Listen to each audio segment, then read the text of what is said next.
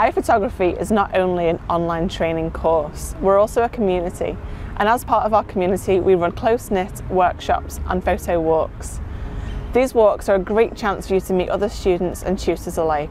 You can get one-to-one feedback on your images, shot on the day, as well as composition tips, tips for your camera settings, and much, much more. Please do come and join us in one of our photo walks or workshops because we would love to meet you. Here's some lovely things that our previous students have said about our photo walks and workshops. It was a great day out, weather was great. Um, it was lovely meeting all the tutors as well, all the, the tutors here. Um, some great advice all the way through the day. Um, so it wasn't just one thing we focused on, you could do what you wanted, but you're getting really good advice all the way through the uh, afternoon. I really loved it. I really enjoyed being on that bridge, learning how to do the ghosting, and I'm going to take that home and practice. You know, with you in person, you know, asking you questions was really, really useful.